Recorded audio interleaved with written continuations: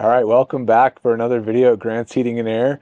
Today we're going to show an installation that we did the entire duct system, and this is going to be another Daikin all-electric system. We've done a video on that, but on this installation, we actually installed all the ductwork. This had electric baseboard heat only, and we were able to save the customer a lot of money by adding the heat pump, the forced air system. So we're going to show you a little bit about that today. So this is our Daikin Fit air handler. This is of course going to be no gas, all electric system. And we have a backup heat kit that is located in this section of the air handler where we're going to supplement any of the heat that the heat pump cannot keep up with or if it gets too cold. This one is a 10 kW kit with a 60 amp breaker. We of course here again are using our nice five inch thick filters, lower our static pressure and allow the customer to have longer run times and better filtration. And I guess we can go through a little bit on the duct system. So we hung this from rubber isolators. This helps keep the sound from traveling up. This customer runs their fan all the time like I do at my house and just keep moving that air to keep it comfortable in the home. We like to take hard duct and flex and what we try to do is flex at the end of our runs so that we can quiet down the system. You can see there is some hard pipe here. This is a return going back into this direction. And then we put some flex in the middle of it. We keep that flex nice and tight as you can see. And that lowers the resistance in that and just gives us really good flow.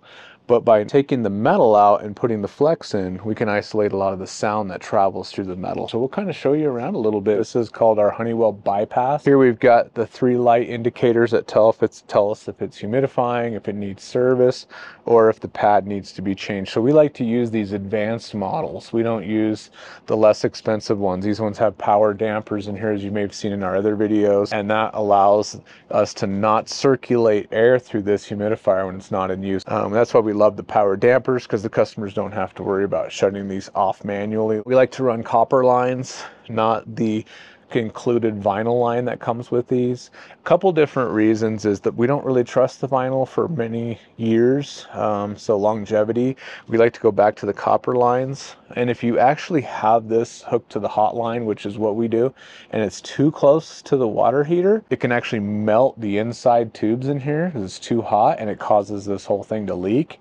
So by us running copper as well, it dissipates a little bit of that heat and keeps the internals from getting too hot. So here I want to show you that we put in a duct isolator here.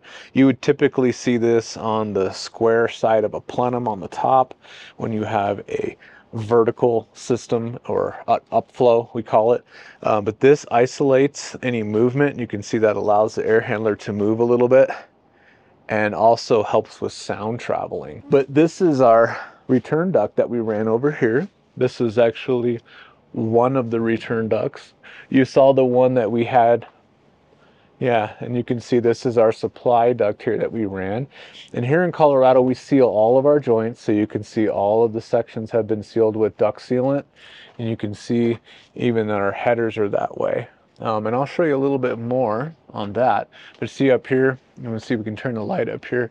You can see our supply. We run all of our supplies with the seams down so that we can properly seal everything, including the back of the top takeoff. Here we've got, you can see a little bit of flex running to a supply boot. So we like to, like I was saying, we like to have that flex at the end to keep things nice and quiet. This, we had to get real creative here too. We weren't able to move this box. Um, so we actually made a panning box inside, which allowed the return to be up inside here and still be isolated from the electrical. So that was a creative way for us to do that. This is called thermal pan. Thermal pan is a cardboard, okay? Now a lot of guys are gonna say, why would you put cardboard on your floors? Why would you do that? Well, new construction it can be tough because during new construction, they don't always have things dried in. So water can come in and get to this and just destroy it, right? It's paper practically. But in this application, when the home was already built, we like to use thermal pan because it's quiet. Now, you, I know you can break your metal panning in the returns and that will keep the sound down, but you still get a little flex and a little bit of popping sounds.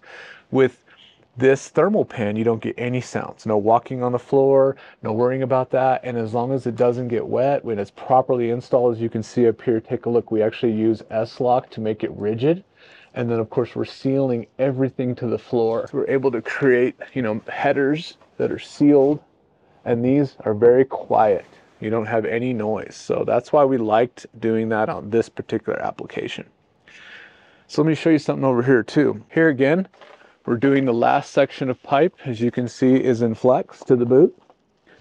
The last three feet is ideal.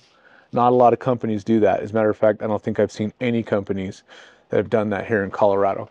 But I want to show you, see we flex in this, and we also are trying to limit taking anything off the end of the ductwork. You need a minimum of a foot so that you can have the proper static pressure across the duct line.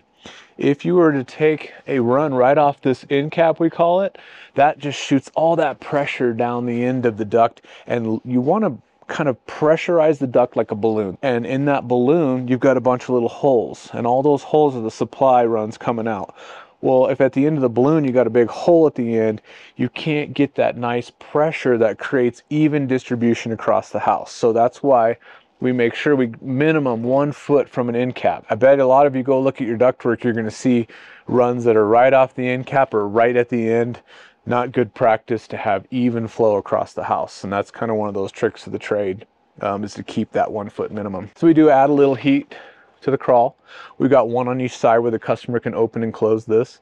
And it looks like it's currently pretty much closed. And we did actually recommend they get their whole perimeter of their crawl space insulated and they did a very nice job of doing that. This really helps keep the load down keeps the space warm. These are some custom fittings that we had done and you can see here there's a flex. So if that equipment's going to move there's there's no vibration traveling through the ductwork. And it does look like the guys missed a little bit of duct sealant here but you know it's all in, a, in the envelope. This is a very small, minuscule amount of loss, but this should have been sealed. Um, but you can see we, we have what we call the pair of pants. I don't know if you can see up here how this angles out. And if you see here, there's some screws because we have turning vanes in here that are like little airplane blades that allow the air to turn and lowers the resistance, increasing the airflow, increasing the efficiency. This one goes all the way to the end. And then of course, flex coming off of the last three feet of all of our runs, again, to keep everything nice and quiet. So every run you see has that flex at the end. Sorry, the lighting's really kind of bad down here. I look like a ghost. Ooh, you know, like I might want to hand the light to Ayla. That's probably better. We just wanted to show you how we can add ductwork to an existing house and how we like to do it. And this being an all electric system, and this is a propane application. So we're saving the customer a lot of money here in Colorado because the propane is expensive compared to our electricity and they absolutely love it. So um, they're actually on our website um, and gave us a, a, good testimonial on this system. And we've been through them with two winners now, and they've been down to negative 20, negative 23, and have had no comfort issues at all. Kind of backtracking to another video we did, which was our all electric system. We actually got an email this morning that this customer of ours is saving over $250 a month in heating her home. And she's more comfortable. She's able to keep the temperatures higher and absolutely phenomenally impressed that it was operating at negative 23 and i think it, she said it lost two degrees on the thermostat but they had it set at 70 so held 68 during a negative 23 degree day and it was all electric. And she's super thrilled on the savings that she's getting. And that was from our original all electric video. You guys can check out right here. Basically it's this system but we took out an old gas furnace, used the existing ductwork, and we went all electric. And in this application, we added all the ductwork and went all electric in a horizontal position. But I wanted to show you in this, this clear P-trap. We like to use these P-traps. I don't know if any of you have seen these, but they have pop tops for easy clean. We leave the customer a brush just in case, or the technician, whoever's doing the maintenance, in case this backs up with water. Now this is only going to be in the cooling mode of this system. In the heating mode, all the water's outside at the heat pump. But in air conditioning mode, we do have this coil condensating. And so this is a nice big clean out where you can see if it's getting plugged up with algae and other junk. And we don't like to use the ones where you just build them, you know, and you can't see anything. Um, so this is really nice. You can run your brush this way, you can run your brush that way and that way. So these are really nice P-traps that we like to use. So you can see we had a couple static pressure holes that we have cut in or drilled into the ductwork. And this is so we can commission the equipment properly, make sure the airflow is running properly. Because at the thermostat, for the Daikin One thermostat, we can trim some of these. We can go up and down a little bit with airflow but we try to design all the ductwork from the very get-go, of course, doing a load calculation in manual J, manual D, manual S. Manual J is your load, manual D is your duct, and manual S is your equipment selection. And we like to, we start off with all of that by taking measurements of the home, taking look at the windows, taking the insulation, taking air infiltration into um, that equation and everything. So then we can come up with the proper sized equipment, and then we then we build the ductwork with the duct calculator, we figure out, well, how much how much ductwork do we need to handle the certain CFM of this home based on that load? Pretty neat to take a home that had no ductwork at all and make it super comfortable, humidify it, clean the air, give them very comfortable heat pump heat because we're going to run that heat pump a lot. A traditional gas furnace just comes on and off and on and off where a heat pump system will actually modulate down from the inverter compressor and come back up and give us long run times. Those long run times make it nice and comfortable without using a lot of power and, and, costing a lot of money. Okay, I want to show you our condensate pump. It's a little hard to see. It's down underneath here. This is where we're, we're collecting all the water from the humidifier and from the cooling operation of this system going into a pump. Now, if you see these yellow wires here that we've wired in, that's our safety switch, and it's actually going to go up into the air handler. And what's nice about the Daikin air handlers is they have an alert terminal, and that alert terminal allows us to just land those wires on the alert terminal, and then the system will throw an alert up on the thermostat if the pump ever can't pump out the water. And if you're signed up for the, the cloud-based service through Daikin One, it actually will send an alert to me, the dealer as well. And we'll know right away there's an issue going on before water starts to pile up under here. So I wanted to show you guys this red light. I just really think this is cool. So the lights up red when it's heating, lights up blue when it's cooling. And right now, of course, we're heating or up here in the winter time. But I want to show you a little closer on this thermostat so the customer can move this in a circle to bring the temperature up or they can bring it down. You can also physically push the ups and down arrows, up and down arrows, or you can actually grab it and move it up and down, which is pretty neat too. So then we've got the modes over here. So we've got auto, which heats and cools without you having to switch from cool to heat. And then we have our emergency heat. And our emergency heat allows us to override the heat pump and go to the auxiliary heat kit, which will be the heat kit inside the air handler. You can push down on this anytime, bring you back to the home screen. We got our main hitters down here. This is of course our home that we're at now. We can see our schedule. We can then do away mode if we want to set a high and low and we're leaving for vacation. And we get some air information here on air quality. It's telling us the filter's good, what the current humidity is, the current temperature, what the outdoor is, humidity and temperature, weather, and you can control some of the fans here. One clean is like if you maybe burn something in the kitchen or something like that, you can turn this on. And it'll do three hours of fan time to clear the air in the home. Let's go back up here to this little three little bars there. We get into the settings. And here you can see those system modes we were looking at, the schedule, the away. Some of those are our heavy hitters that you saw below. And then we have a display settings. So let's say it's too bright. Maybe we want to use a large font. Maybe we don't like the light bar that I like down here.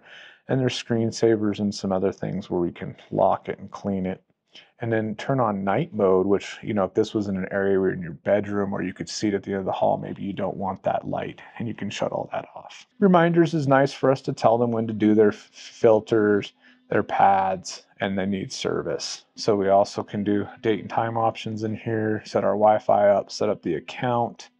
We can look at air quality and humidity and some other things in the settings and some equipment and some support information. So all that's really easy to use. Most of the time the customer is just right here at the main screen, just either going up and down or turning the dial or setting their schedule. That's really it. And what's really neat about this is that if you have the app this is the exact same interface. It looks exactly the same on the app as it does here, so it's very familiar and easy to use from wherever you're at. This is the Daikin Fit heat pump system we were talking about inside. This is the outdoor unit.